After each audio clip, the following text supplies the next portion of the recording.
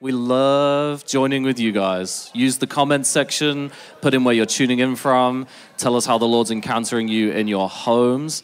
For anybody who's new, who might be visiting this weekend, I'd love to introduce myself. I am Matt.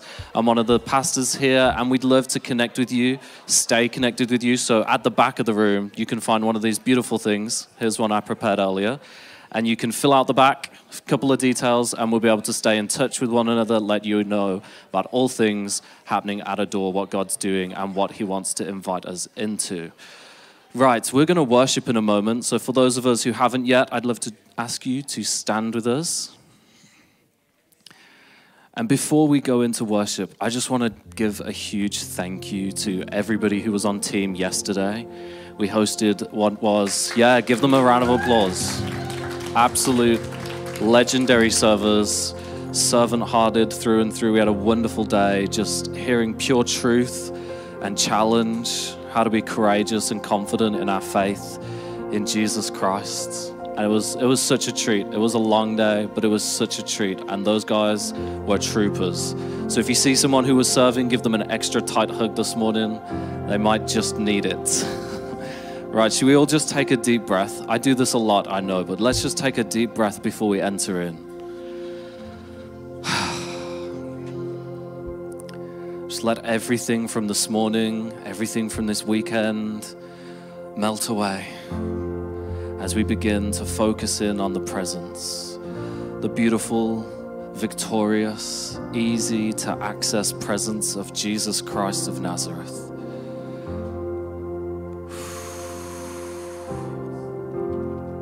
And as his people begin to seek him, he makes himself known in a greater measure.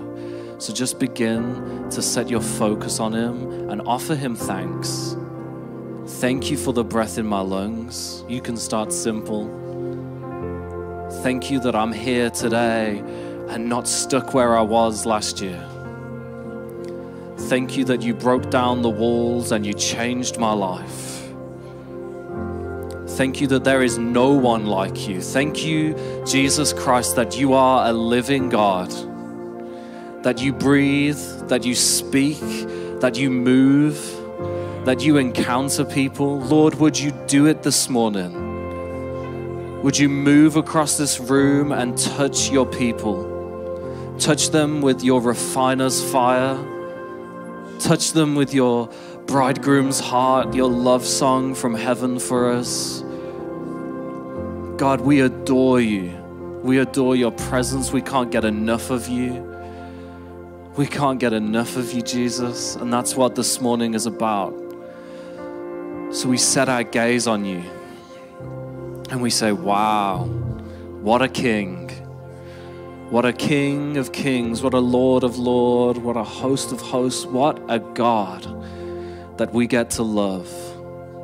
We worship you this morning and place you above every other thing. Every other thing will fall where your name is proclaimed. So we say, Jesus, you are Lord. Jesus, you are Lord and Savior, and we love you. We love you, Jesus. Keep your eyes on Him as we worship.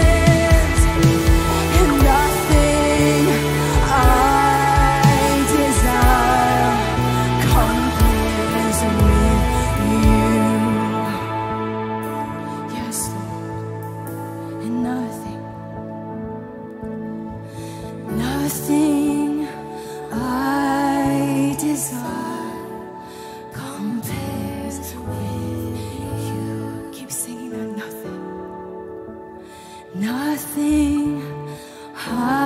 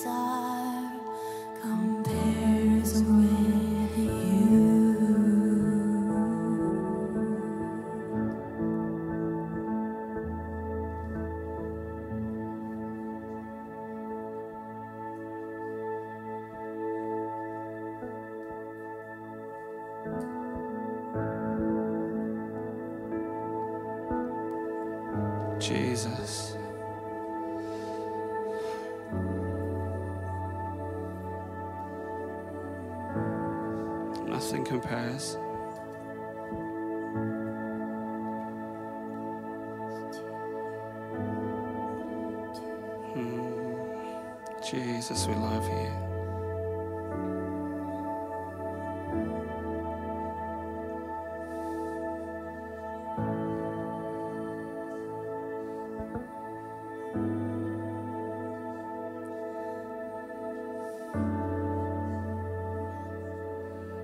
Thank you, Jesus. Lord, where we ever, ever lose the wonder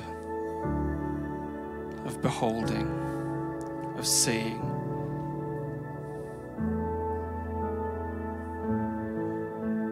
Everything else fades in your presence, Lord. Every appetite, every hunger, every bit of drivenness, every addiction every vain imagination, folly.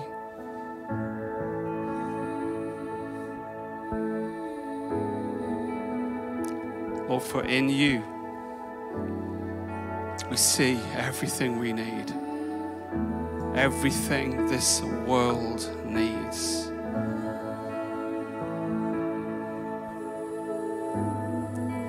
So, to the one who said, If I be lifted up, I will draw all men to myself. We lift you up in this place.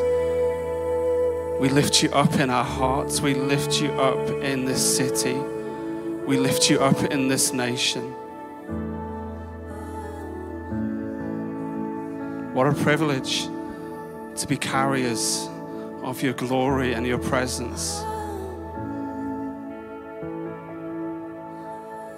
The aroma of Christ to those who are being saved.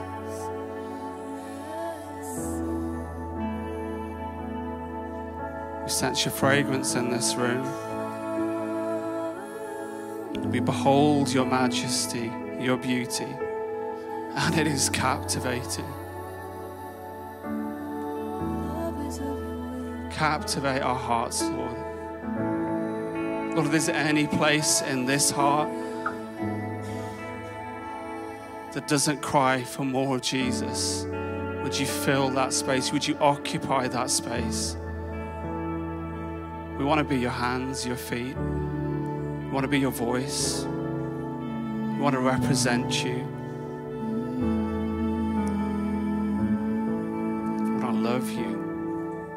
Love you with our yes.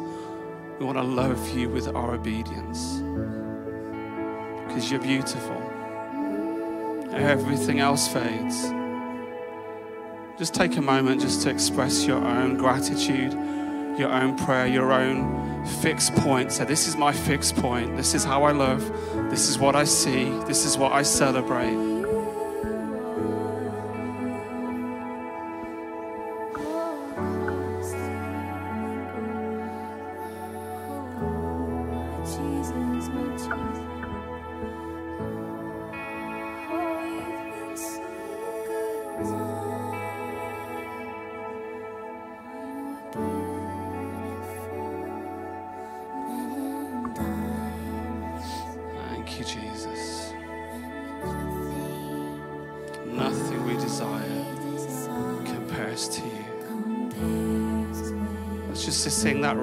For a moment longer. Nothing I desire, nothing I desire.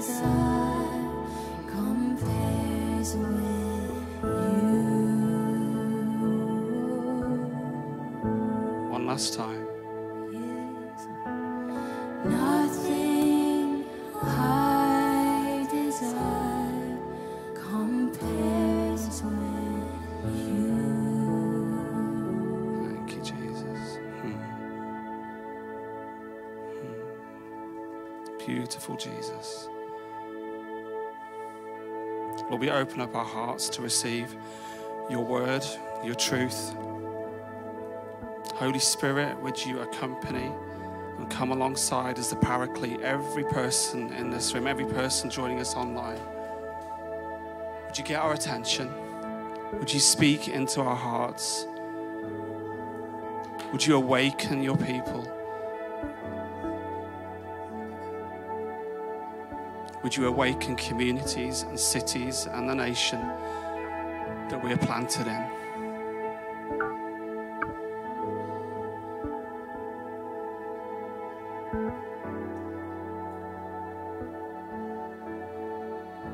In Jesus' name we pray. Amen. Amen. I'm going to invite you just to take your seats. And we're just going to do a couple of practical things. Just get ready and set up uh, for Andrea to speak. So those can just bring the pulpit forward. That'd be brilliant. And we are going to take our offering. So our host team are going to pass around offering tins. There's going to be a QR code appear on the screen if you want to use that to give. We do have a contactless payment giving station in the lobby. You can use that on your way out. If you're part of our church family, um, we love that those of you give regularly. Standing orders um, keeps this thing rolling, keeps it moving. Um, it's part of our worship. is a surrendered resource of time, energy, money. All of it is worship, as well as the songs that we we sing. So keep those moving. Um, bless you for those who are going to give. You want to do so. Um, uh, and you're a UK taxpayer, there are forms in the tins that you can use just to make your giving more effective. It's great that we currently get the ability to have money back on the gifts that you give to resource what we're doing here. Okay, practical things. Um, we've got a busy weekend coming up. and we've got the uh, ladies gathering on Saturday. So if you're not booked in, get booked in. They want to cater for you all. It's going to be fantastic. We're hearing lots of energy and life and excitement about that happening. Then on Monday, we are having our first Passover feast here. Um, it's going to be a wonderful, long, rich, powerful evening just to inform and just uh, draw us into the Hebraic roots of our faith. It's something I have a strong conviction around in leading this house that we need to understand our rootedness. We are a wild olive branch grafted in, and it's just a wonderful richness as you start to study you know the old testament and the new and just how it all just flows and strengthens and confirms and this would be a really informative worshipful family relaxed experience just to encounter jesus in the passover and to see him revealed. And we're going to probably take communion a little bit later, um, but we want to welcome Andrea. We've had an amazing day here. Andrea, just come to the front, come and join me.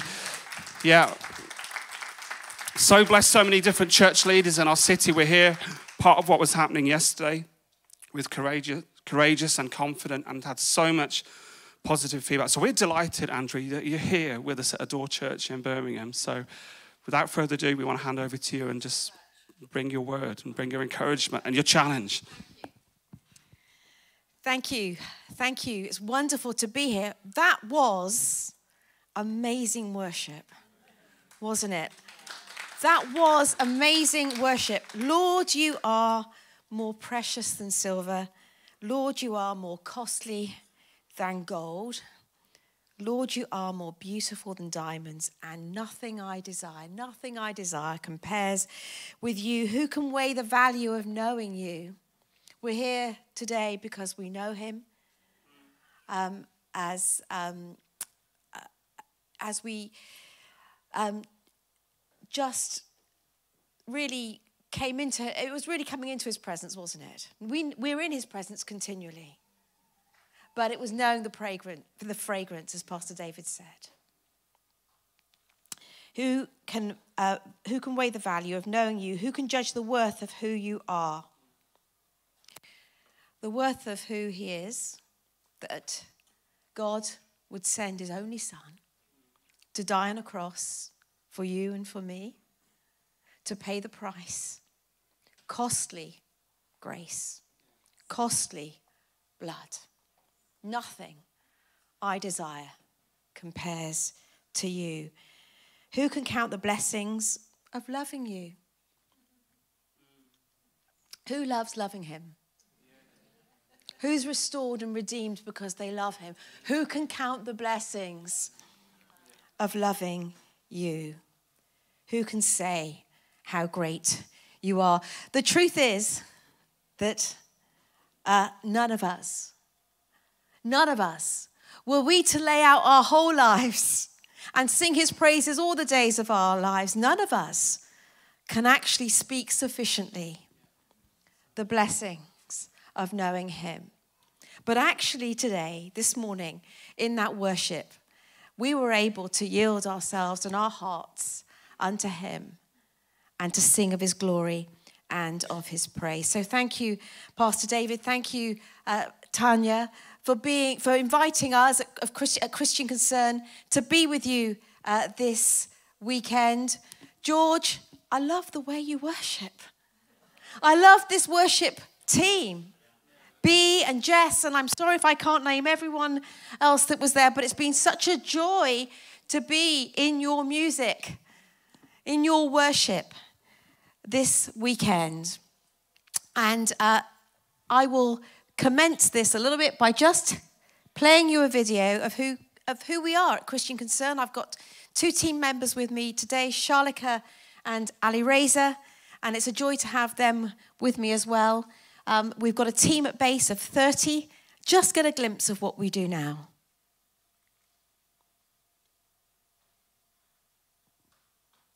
And I think we need some audio. Is it coming? Is it on here?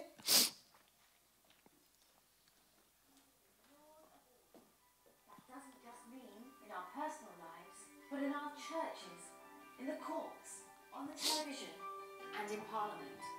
So we seek justice, defending Christian freedoms in the legal system, and campaigning for just, righteous laws. We speak truth, taking every opportunity to champion the goodness of God's pattern for our lives, our families, and our society on television, radio, online, and in the newspapers.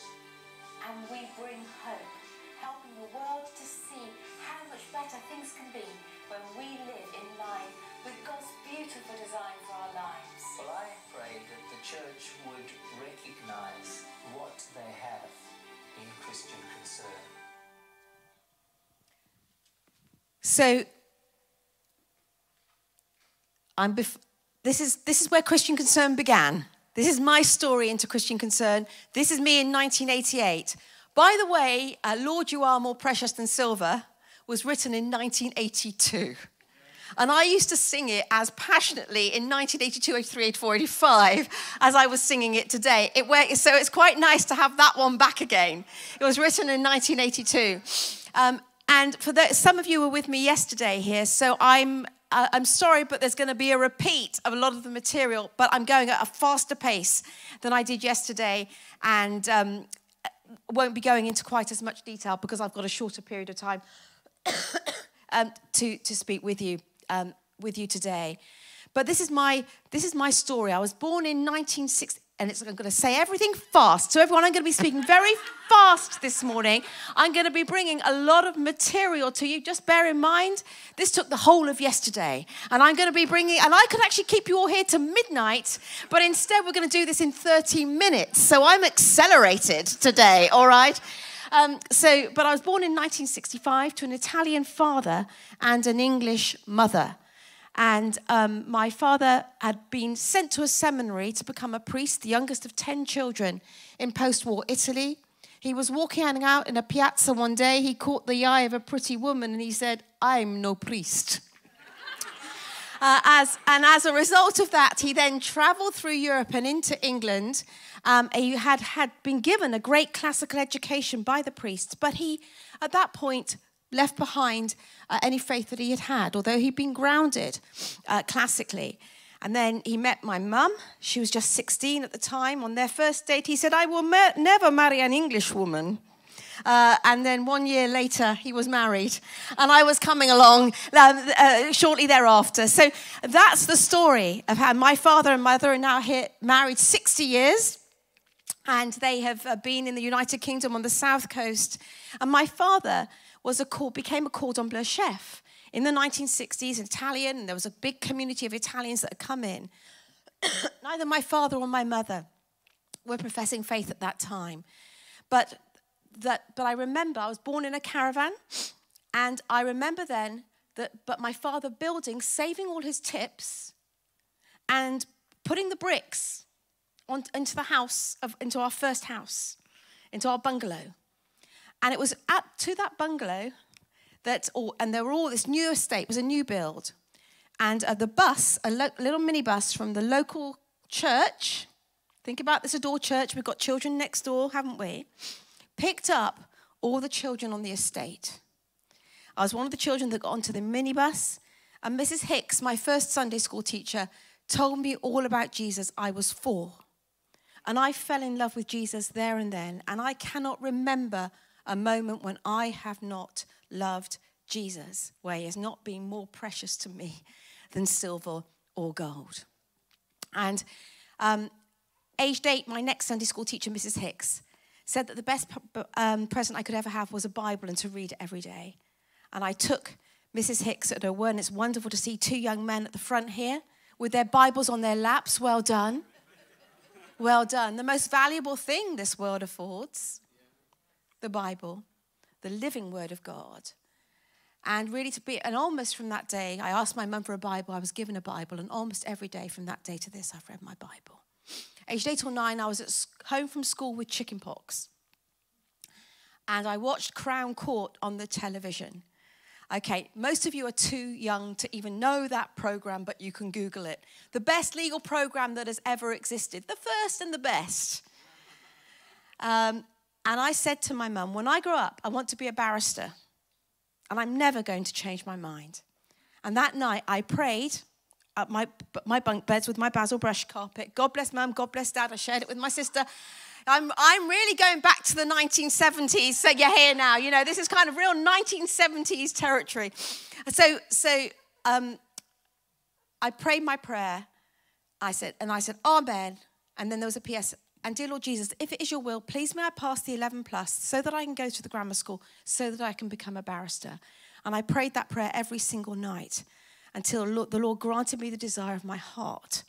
And I was one of two children from Portland in Dorset on the south coast that went across to Weymouth um, in order to the grammar school. And then I was very a very serious teenager at school because I thought, well, God got me here. God got me into this school, and I want to become a barrister.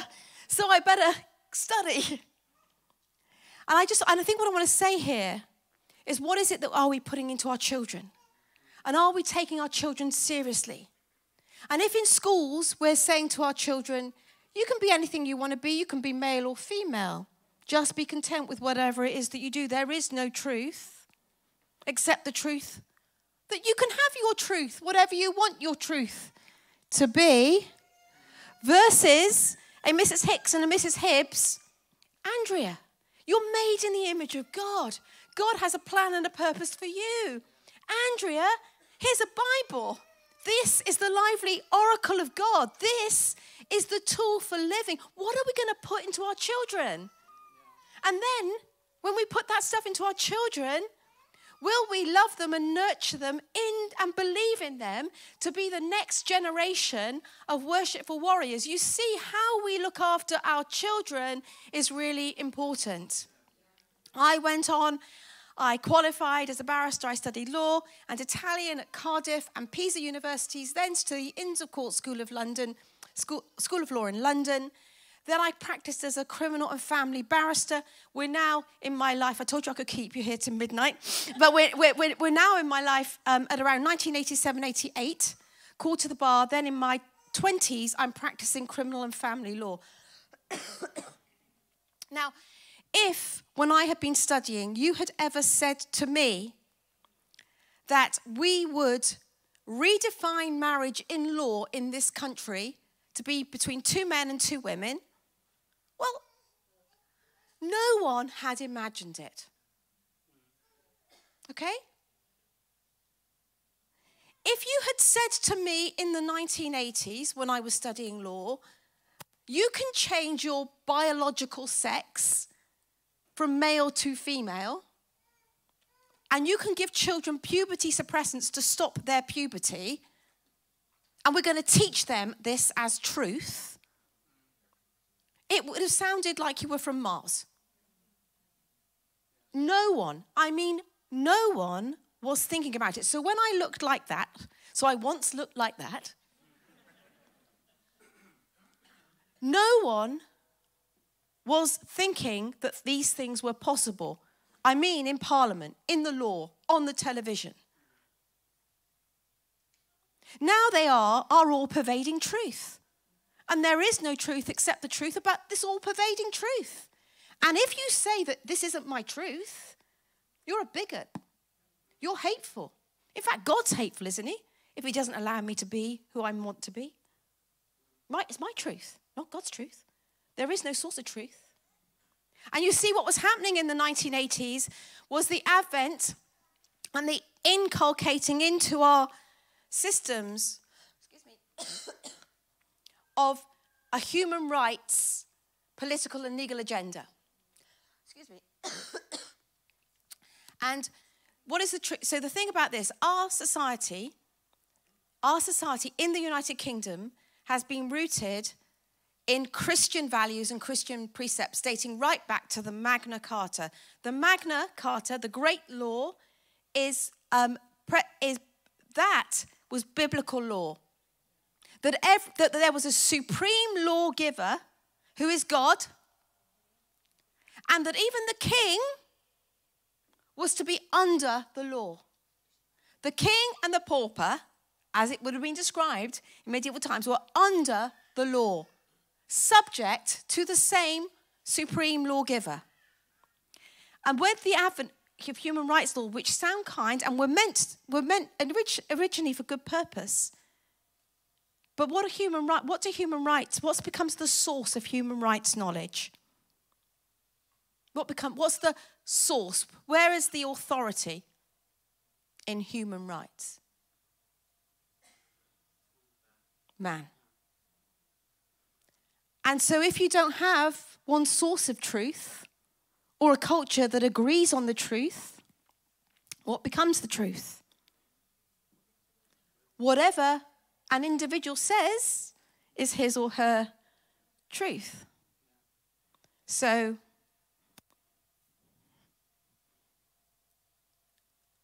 I believe I'm a man. You will accept I am a man. And unless you accept I'm a man, you discriminate. In fact, you discriminate against me. Um, in fact, you're racist. No, no, no, no, of course not you. No, no, no. So you, no, in fact, you discriminate. No, sorry, I'm being, I'm being rhetorical. Sorry. Uh, yeah, so you discriminate against me. If you say that to me, you, discrim, you discriminate, you discriminate against me, like as if, as if you, uh, as if it was the color of my skin. In fact, you're racist. Unless you accept what I say my truth is, you are discriminating against me. As if it were the color of my skin. I'm gay. It's who I am. It's who I am. It is my identity. And unless you accept this as my truth, as my identity, then you discriminate against me as if it is the color of my skin. And you are hateful and bigoted. And that's where the human rights agenda has ended up. Am I taking you on a roller coaster?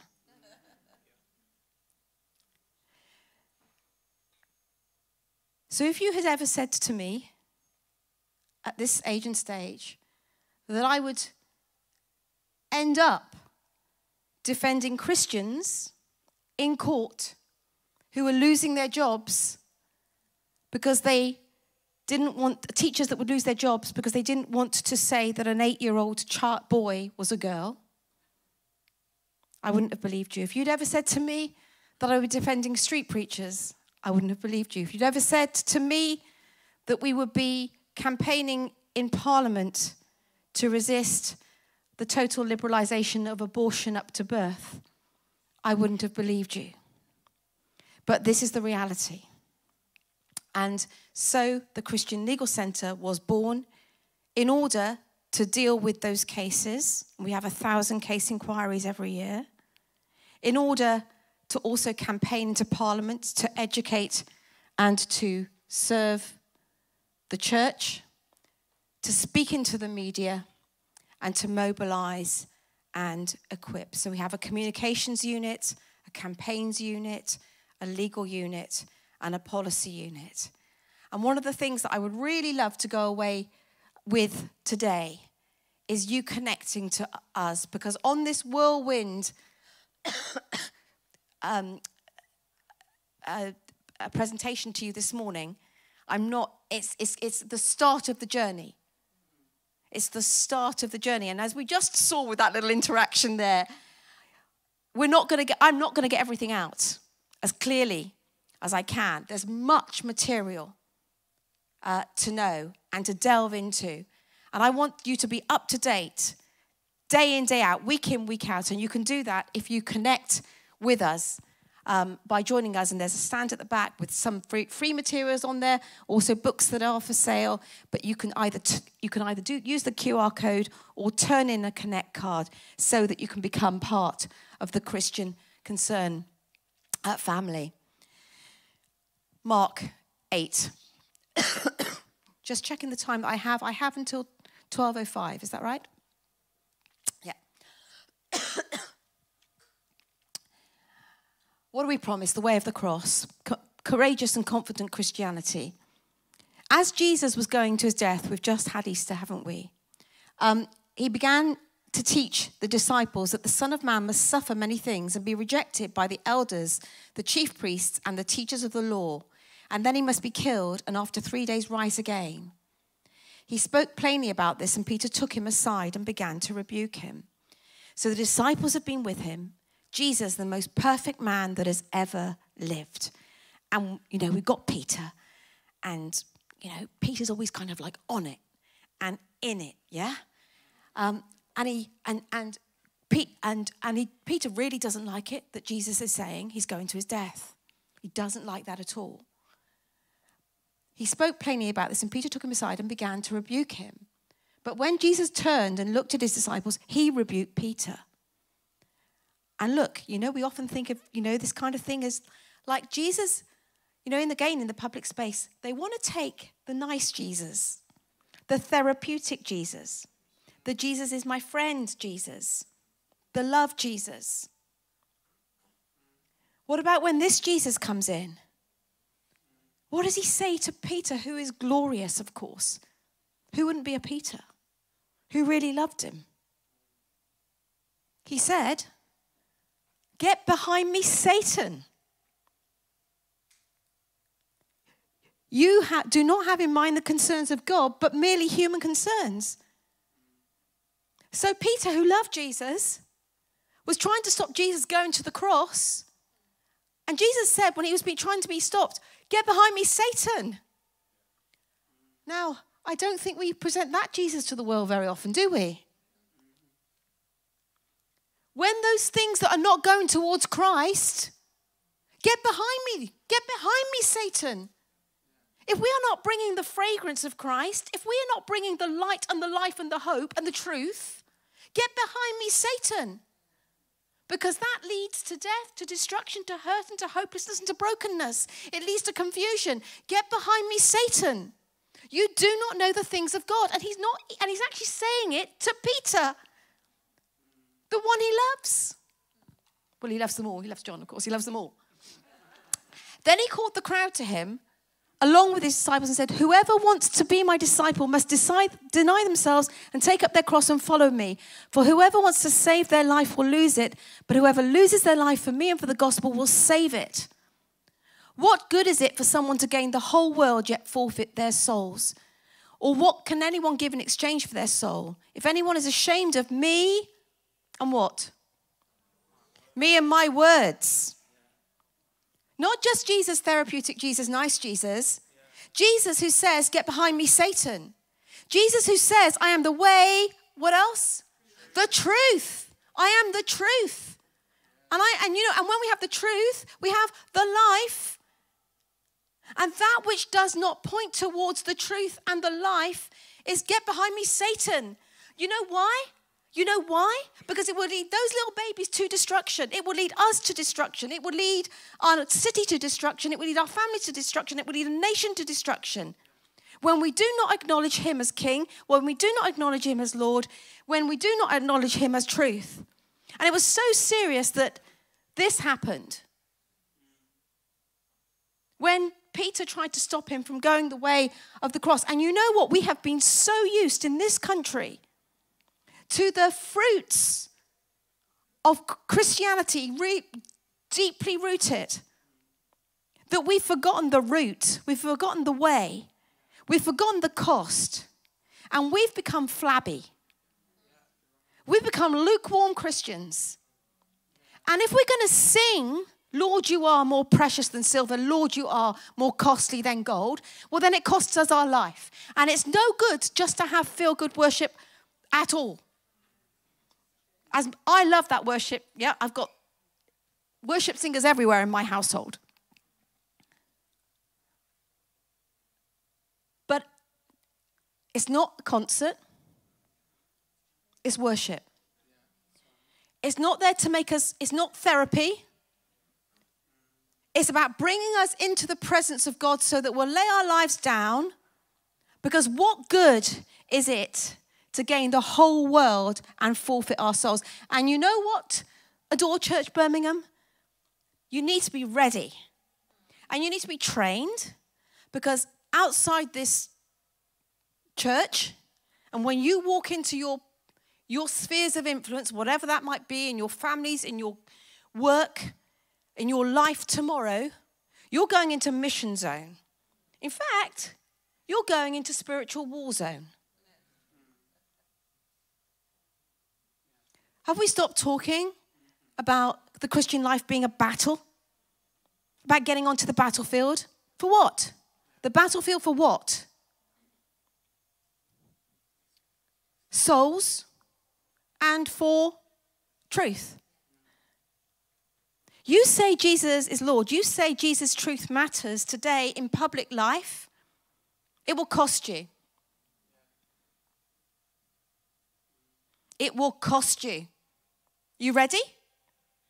Are you ready? Do you really mean that you're ready? We have 1,000 case inquiries at the Christian Legal Center where Christians are in trouble for living and speaking out their faith. Are you ready for that? Are you ready to get into trouble? Are you ready for a bad Twitter feed? Some, some non likes on Instagram? Are you ready to be called hateful and bigoted? It's quite hard, you know. You're not dying, we're not dying yet, though, are we? In this country. People will die in the world for their faith. We've got used to Christ- a sanitized Christianity. Today, we say, it's my right, my truth. It's my right to redefine my gender irrespective of truth. It's my right to kill my baby if I'm not ready to have my baby because that baby isn't really a human being, that baby's just a clump of cells, and that's what we teach our children. My material is hard, everyone. Um, I haven't got a long time. Soft heart, soft heart. I come in peace, I come in peace. there will be many of you that are living across stuff. The role of the church is to love and to pastor and to disciple, and the blood of Christ was shed for you to restore and redeem. That's the gospel message. You see, we all get better. We all get better and healed and full of hope when we're putting on that truth. Yeah?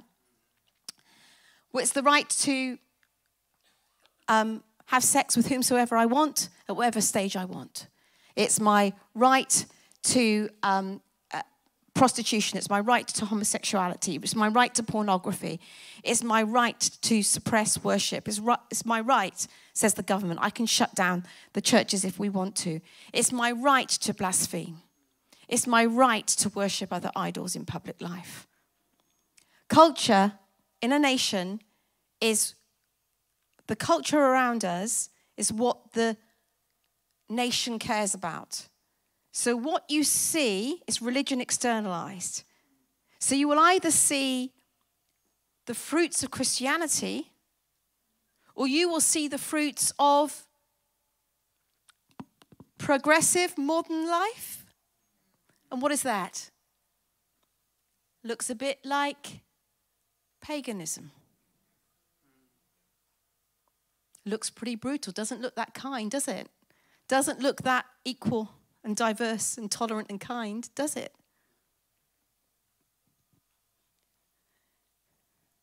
It's only by believing in God that we can ever criticize the government, abolish God, and the government becomes God. Does it feel like that? Whatever sphere you're in, in, in public life, in the schools, then we have these policies. You must conform, and if you don't conform with the equality and diversity and inclusion policies, um, you'll be punished. And we're going to put layer of legislation upon layer of legislation to make you all conform to the government's new ideology. The fact is written across all human history wherever the people do not believe in something beyond the world, they will worship the world. Is, is the UK happy worshipping the world? Are we in chaos? Is our government in chaos? Is there nowhere to go in a general election? But above all, they will worship the strongest thing in the world. God's pattern for us, his words are God made you, Genesis 1. That's the freeing hope, male and female. And he made you to subdue the earth. God's word for you is that he's jealous. And actually, the impact of not loving him has an impact generation after generation. So if my father, my parents forget God, then my generation forgets God, then my children's generation forgets God, then can you imagine the children in schools today?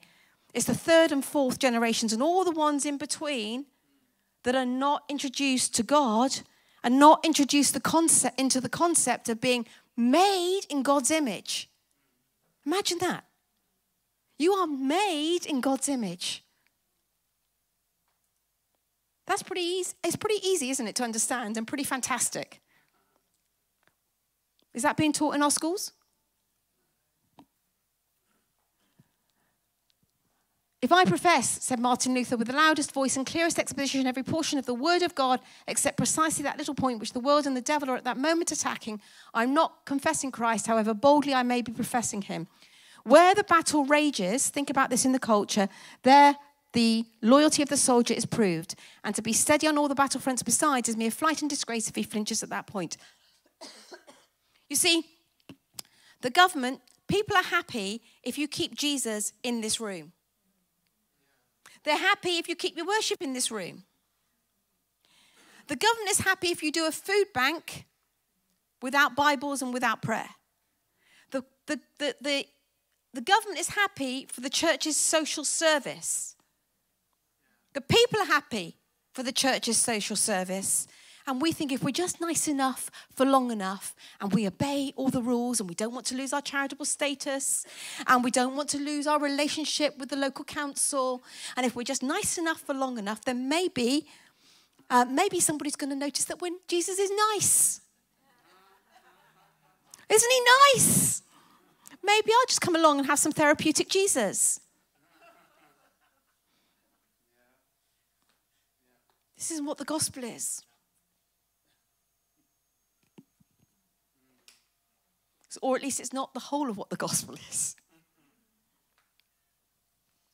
So the truth is under attack on life, family, and the place of Jesus. So look at this quickly.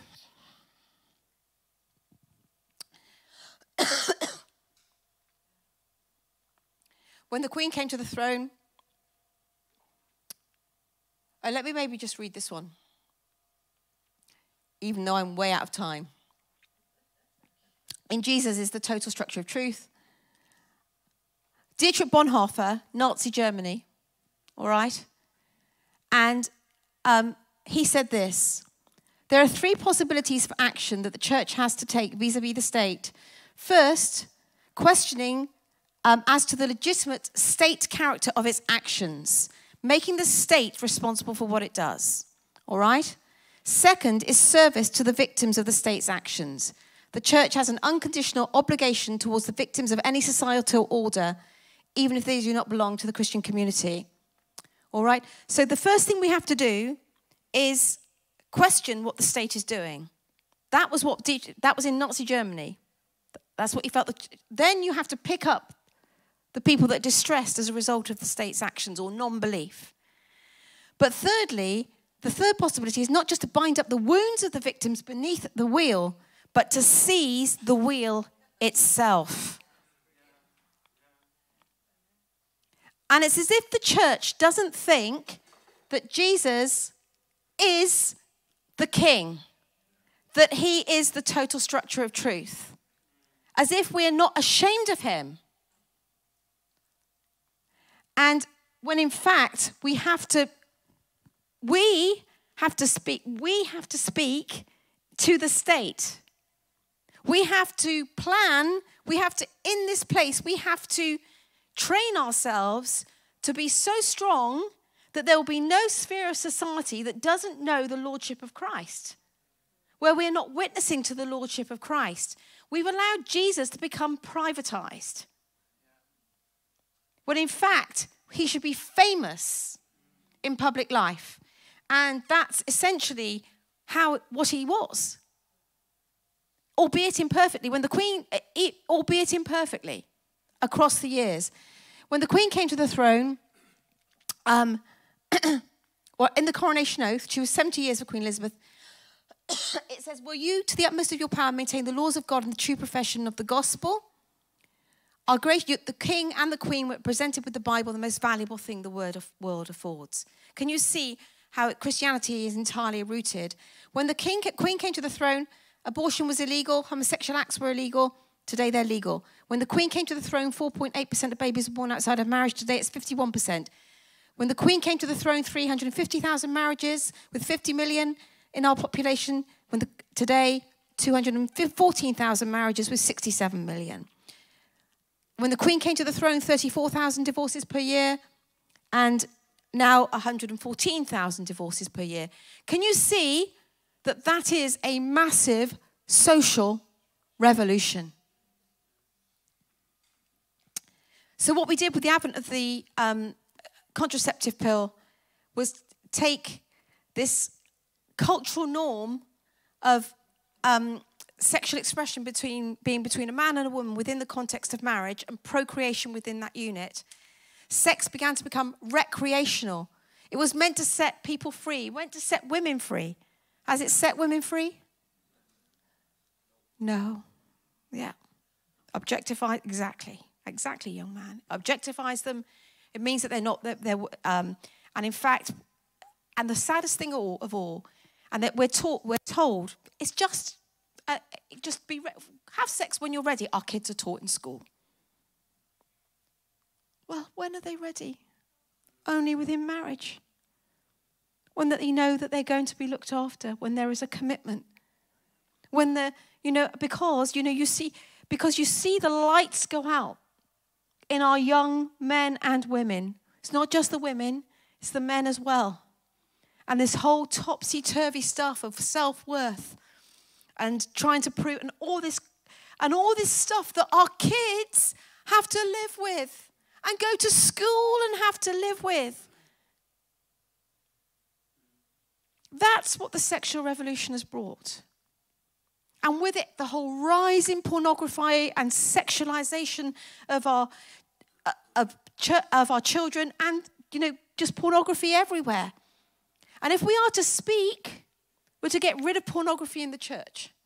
We've got to porn proof our young people coming, coming up. This is serious if we're to speak God's truth.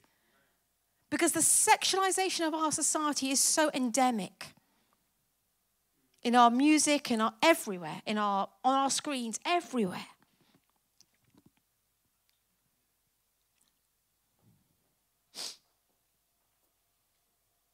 Sorry. And with that, if you have sex outside of marriage, then what happens is you then have you create what happens as a result of having sex? Babies. And then babies are unplanned, so that creates the request to abort babies. And so here are the stats how many babies have been aborted.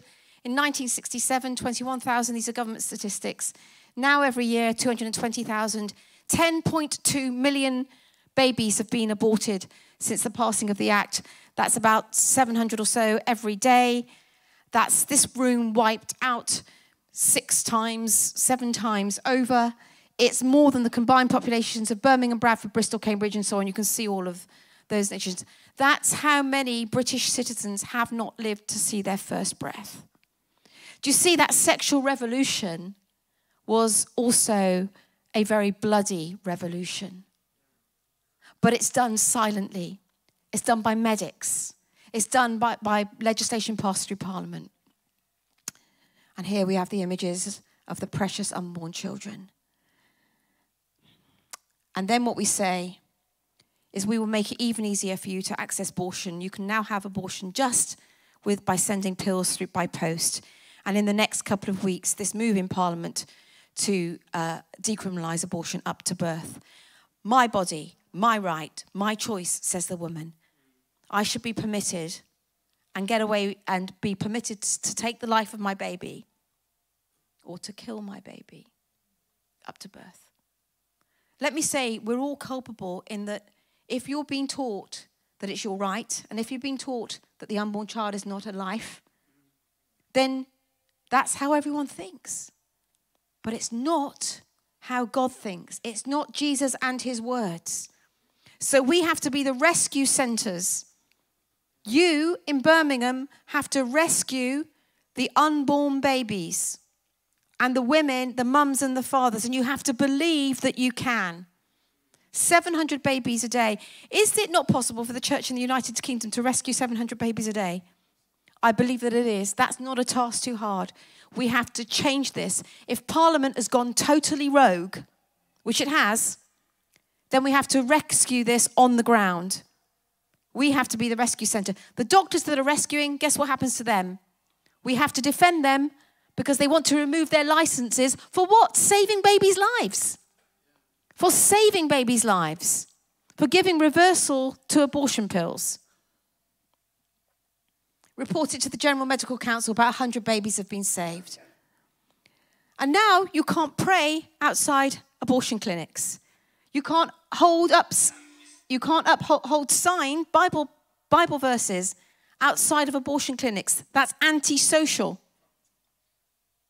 Speaking the truth is antisocial. You can't say abortion in a courtroom because that's too strong a word. But it's the truth, isn't it? And then, and then there's a massive move in Parliament. The generation that killed its children will be killed by its children. We now have a move to um, legalise assisted suicide in Parliament, and Keir Starmer has said that he wants to take that, um, to, to take, to take forward that legislation. And tomorrow we're in the Supreme Court because we are saying that children can't be dead on the balance of probabilities, that where parents have found alternate treatment for their children, such as we did found for Sudiksha, such as we found for baby Indi, that they should be that they should be given the chance parents should be given the chance to take their children elsewhere. All truth holds together if you take cross the abortion line what then happens is um, we move to the possibility in 1978 of creating life in a laboratory that's the through ivf um, so you then have this, and then that's the creation of human life out with the sexual union of a man and a woman. You move to 1990, where you, we, for the first time, we create human embryos with the express purpose of experimenting upon them and then destroying them. And then we move to uh, 2004, where we have a cloned human embryo, which is man making man in the image of man. What does all of this do? You've crossed a lifeline, but actually, what you then do is create the possibility of having families in any unit. So, single people can have families, men and men can have families by way of surrogate womb, women can have families by way of donor sperm. And then what happens is that in law, that is all reflected in our family legislation. So, civil partnerships become marriage. And what is, how is marriage defined in law today? A man and a man, a woman and a woman, a man and a woman, married, civilly partnered, with children, fostering adoption naturally, or by way of fertility treatments. All of those families are equivalent in law. And to say that they are not equivalent means that you discriminate. All of those family units are taught to our children as the norm. And if you and if you and if you say that it's not, then you can find yourself in trouble. So I had 11 year olds in my office a couple of weeks ago who've been put in isolation for, uh, I think it was a week, I'm trying to remember exactly. I think it was maybe even longer than a week. Because they'd read Bible verses in a PSHE class um, saying that God, just, just saying that God believes that um, sexual expression should be within marriage and is not, and is not, not for homosexuality. It then becomes, this becomes possible you have the kind of the, the transitioning where a woman become, becomes a man, wants to have a baby, then wants to revert to looking like a man, becomes the father of the child, and the partner becomes the, the, the mother. And this is what, this is turning truth on its head. This is where we end up in society, and there's a whole lot of legislation to ensure that, to make that happen. And then we have a church that approves of this. So you have the Archbishop of Canterbury and the Church of England approving it, but not just the Church of England, many other churches.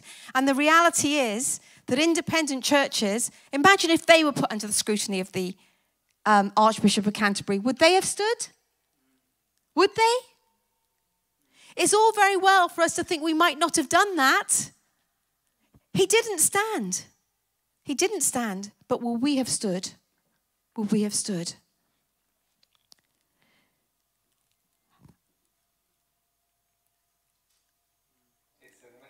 So there, and then coming to our cases, just a glimpse of our cases. I'm going to need to take about five minutes. Yeah, I will. before I promise to finish before in, in before 15. Okay. Um, let me go. So uh, we then move to um, Christian lecturer in a Christian college tweets homosexuality is invading the church. For that, he is removed from the evangelical college uh, for gross misconduct. We're taking his case. I'd love to introduce you to all these people. They're on our they're on our website. I keep on looking at that one, and in fact, it's this one that I'm that I need to be looking at. That's Aaron Edwards. And then when all of this was introduced, um, the Conservative Prime Minister David Cameron said, I don't support gay marriage despite being a Conservative. I support gay marriage because I'm a Conservative. And the Deputy Prime Minister said, everyone's going to wonder what all the fuss was about. And so what you then have is the Department of Education being an LGBT champion and all of these books becoming the books that we're reading in schools. My Princess Boy, Tango Makes Three, King and King, 10,000 dresses, voices chanting, doggies panting, reflecting pride. This is on the curriculum. If teachers refuse to read these books, they find themselves suspended. But what happens mainly? Mainly, what happens is that everyone goes quiet. Church, church, don't do it, they say. Don't go to that cross. Don't get behind me, Satan. Don't speak. Keep your head down. Keep your head down. Keep your head down. I'm going to keep my head down. We're all scared. We are all scared. We're all intimidated by the culture. We're our kids get intimidated in schools. Parents get intimidated in schools. We get intimidated in the hospitals. We get intimidated riding on Avanti trains, flying the rainbow flag. We get intimidated everywhere. Children are in trouble. Um, drag queens are in, school chaplains are out. Church of England, minister in a Church of England school preaches a Church of England sermon, gets suspended for gross misconduct, loses his job, gets reported to the counter-terrorism squad, gets reported to DBS, gets reported to the TRA, Teaching Regulation Agency, to remove his teaching license. It's serious what happens, simply for saying you may believe that marriage is between a man and a woman. Parents have run a big, long campaign with us to when eight year olds wanted to transition in their school, they raised it. They were the ones that became isolated and were called transphobic. But they've been proved right, haven't they? Uh, we have been proved right, in, even this week with the Cass report coming out. So, new guidance is coming forward. Christian schools are capitulating. Don't. When I see this building and I see those children in there, I'm saying to you that a, a challenge is are you going to keep your children safe? Um, maybe your schools are good. Maybe you've got governing influence in your schools here, here and around. If not, then you need to keep you, parents, are the primary educators of their children. And after that, the church, this church, educates those children. I have a very big heart for all the parents of the children in my church. I've had this for a very long time. I feel like they're my children, the children in the church, like my church. They're my babies. I want them to know Jesus. I'm really interested in their lives. I don't want one of them to be lost. Social workers lose their job unless they promote homosexuality to children in their care. These are our cases. Magistrate loses his job because he says children do best with a mum and a dad. Social workers lose their jobs unless they promote homosexuality to children in their care. Teachers lose their jobs when they say, well done, girls, to a group of girls and one of them identifies as a boy. Doctors lose their jobs for refusing to put on a medical form that a biological man is a woman. I'd love you to introduce you. Politicians lose their jobs for putting on a, a political manifesto um, that marriage is between a man and a woman. Counselors for saying they can help people move away from unwanted same sex attraction cannot get insurance and have to go underground. And with, we become demoralized. By the way, we don't lose all of our cases, some of our cases we are winning because we stand. And even where we lose, we keep on appealing until we win. Okay, we're not going anywhere. We're not going anywhere. And I don't want those cases to put you in fear. I want you to say you have to stand and you've got to join it all up.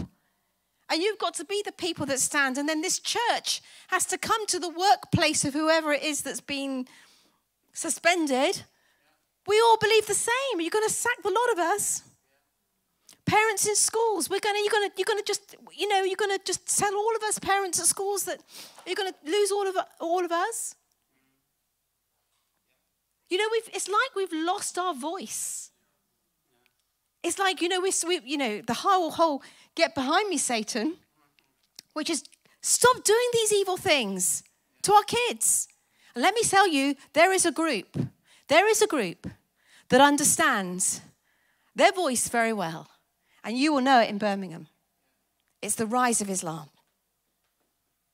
And let me tell you, it's we've got Islamic prayers on the streets of London. We've got a population that's rising 3.9 Muslims in the UK, and we've got in Birmingham 30% of your population in Birmingham is Muslim. We love our Muslim neighbor, but Islam is a false religion. It's a false ideology, and people do and those and Muslims do not know their the book. They do not understand their faith. And we must be poured out with love to serve everyone that doesn't know Jesus, but our Muslim neighbors. But let's understand what we're dealing with. Islam is not a religion of peace. You had happy Eid, yes? Uh, everywhere in Birmingham, I imagine. Not happy Easter, Eid. The Christians were being nice and peaceful in their closed rooms, doing lots of nice worship.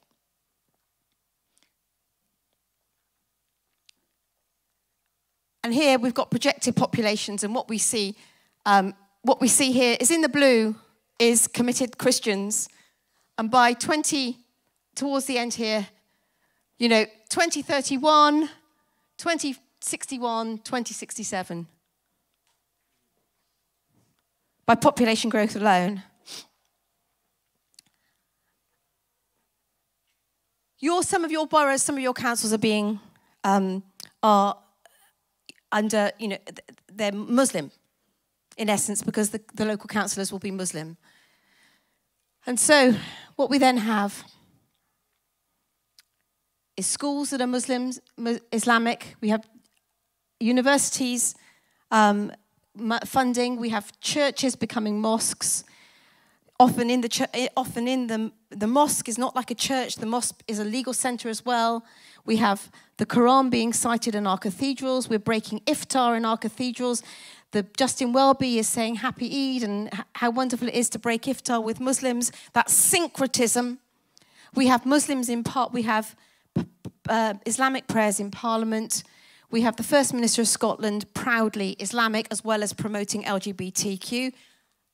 They are able to do this, same as the Mayor of London, Sadiq Khan, promotes LGBTQ, promotes Islam. Because what is it that they cannot, what is, the, what is it that they cannot stand? Jesus. You can be a soft Christian, but it's Jesus, his king and his lordship. So we see the ride, the big Eid takeover. Uh, Islamic um, Sharia courts, honor crimes, deaths, Islamic death threats, people going missing, Sharia zones, local authorities, Islam, rise of Islam in prison. Christian chaplains are out, Muslim, Muslim chaplains are in, Islamic rape gangs. It's real, isn't it? It's actually real. We have um, bomb attacks in, in our country, Islamic banking, ter- homegrown terrorism. Courage is the flower of, God, of conviction. We are God's dominion people. Eternal life begins now, and our role is to reform culture as well as to preach the gospel of hope and restoration in every sphere of life. Awake, arise, adore church. It's going to take a while to reclaim the culture Connect with us so that together we do this. Um, those of you that are younger that want to have this material unpacked across a week and learn how to be influencers in your sphere of culture, come and join our Wilberforce Academy. Applications are open now. But right now, from today, the hard work, the hard mission graft begins here. May this church be a beacon of light and life and hope and courage in Aston and into Birmingham for the glory of God. May you be bold. May you be fearless. May you really live like Jesus is more precious than silver or gold. And may you really live as if there is nothing you desire more than Him and His words, His law, His truth. The only way to live, the way that sets you free. Thank you for your time this morning. Thank you. Amen. Let's stand together, please.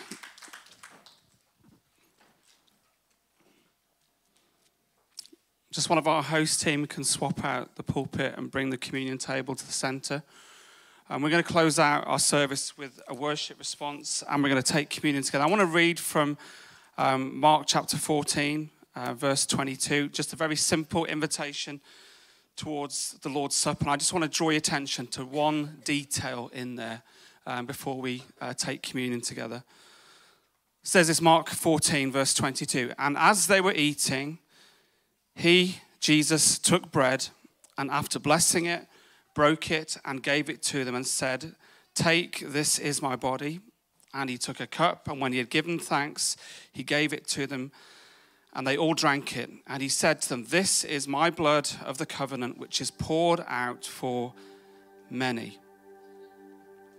It's prophetic about you. He saw you in that moment. This is going to be sufficient for you to be cleansed and come to know him and to have your sins erased and to be redeemed. And he says, after those words, Truly I say to you, I will not drink again of the fruit of the vine until that day when I drink it new in the kingdom of God. What's that day? It's the day we've talked about, sung about in our service. It's about a wedding supper of the Lamb. So there is something within that passage of withholding that's saying we live within the tension of there is a better day coming when tears are erased, when every sickness is done away with, and we're in the presence of the Lord God Almighty. We will see Him face to face, and it will all be fixed. But we live in the tension of the in between. We live in a fallen, imperfect world. And Jesus said, I'm not going to drink that cup again until it's all wrapped up. And there is something in us that needs to lock into that fasting, that restraint, that it is not just about our here and our now and our happiness in these times. There is purpose in the delay, there is purpose in the waiting. We've talked about it recently in our church community. When you look at what is truly apostolic, it is not privilege, it is not a Learjet, it is not gold and bullion and bank accounts, it is a surrendered life. 11 out of the 12 disciples, apostles lost their lives, either cut in half, pinned upside down and crucified, beheaded, run through with a spear, left out exposed to die, St. Andrew. It's something altogether different than our comfort. And you see it there in the communion story saying, I'm not drinking this again. I'm not having wine that will gladden the heart or just make me joyful. There is a there is a something we need to enter into about the sufferings of Jesus that he paid a price for something other than we're living right now. We've referenced in this space the calling to bring to the lamb the reward of his suffering. That's the primary function of the church. He suffered. He suffered agonizing death on a cross. And it's there in front of us in this table. And it brings us in so we can behold him. We can overflow with his fragrance, his love, and his presence.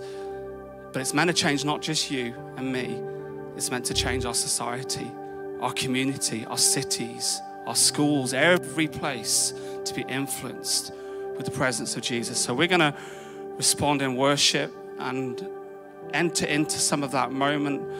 We've been challenged today. We're embracing the challenge. We're on this, there's a trajectory and a journey. There's a rising up, there's an awakening of church around what are we for people? What is the mission in our world? It is to reveal him, it is to make him known, it is to elevate him, it is to be faithful to his words. We have to get over our preferences, our idiosyncrasies, our nuanced understanding to say, My anchor is his book, my anchor is the word who gives life. You want to bring another word? Not going to do it in this place. We're going to be, as much as we can, be faithful to the truth of His word and make that word known. Let it be incarnational, let it be lived out, let it be experienced, let it be evidenced, let it be seen. I want to say thank you, Andrea. We love and appreciate who you are, what you bring into this space. So, as we worship, as we close out, and we'll close out when it closes out, okay? if you need to go home for your dinner, you can go. But we're just going to purpose just to linger around this table. So I want you to come forward as we worship. When you're ready, just take a pre filled cup and take it back to where you are. Share communion with another person to say, I want to acknowledge his broken body, his surrendered life, and I want to surrender my life to him. I will enter into that delayed gratification. That's what it's speaking about in, in that moment where he first took it with his disciples. It's a we got some stuff to do. We've got some changing in our hearts. Repentance starts here in me, Lord, where I need to realign, where I need to come under this and say, I will submit my understanding, my experience, my walk to this invitation. When God calls a man, he bids him come and die. Because in the dying, you get life. So let's follow the one. Let's follow the one with more than our words with our actions, with our obedience. Let our love look like obedience. Let our worship look like obedience. So, the team are going to lead us in a song. I just want you to pour your heart out into. We want to see and be people who carry His glory, people who see His glory, carry His presence, and manifest that in every place we go. In every place we go.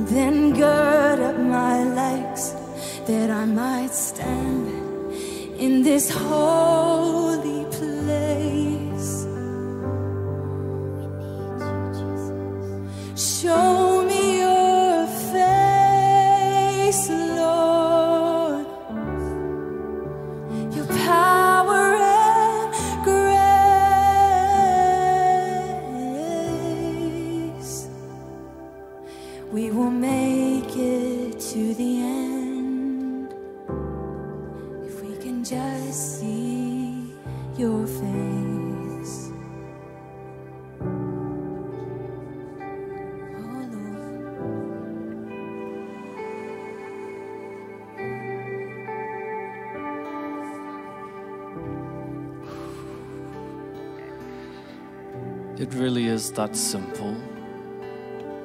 When you see his face, you can stand. And in light of what Andrea's brought this morning, I want us just to end in an act of unity. So, where you're able, could I just ask everybody to stand again? And I wonder, can we sing that part, the um, show me your face and gird up my legs? And just let this hit you where you're standing that the revelation of the face of Jesus, the perfect image of the living God, Yeshua, the Messiah, He is where your gaze is. He is where the strength comes from. And He is where the victory has already been won. So, Lord, as we gaze on you right now to close as a family, we ask that you would gird our legs that we might stand that as the body of Christ, the bride of the Lion of the tribe of Judah, we might stand firm in faith for who you are and what you've done for us.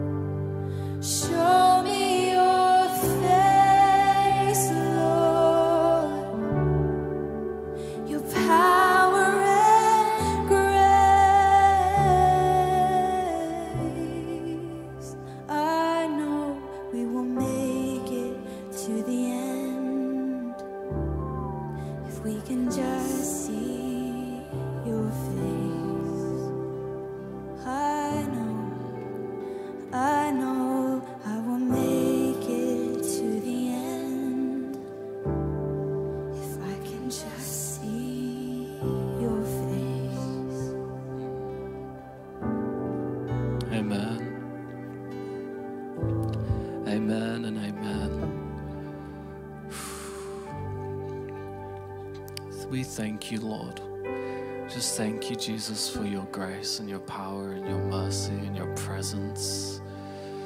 For this house, for our guests this morning, we thank you for all the work you've done in their lives that led to this point that we might be blessed, encouraged,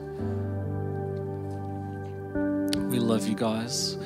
There's a space up here for prayer. If you need prayer, you want someone to come alongside you, this is where to come. Make your way forward. We'd love to pray with you. Everybody else, like I said at the beginning, we'd love to fellowship with you. There's tea, coffee, stay in touch cards. Anybody who wants to visit the resource table for Christian Concern, that's over there in the back left. We love you guys. We love him more. Amen. Amen.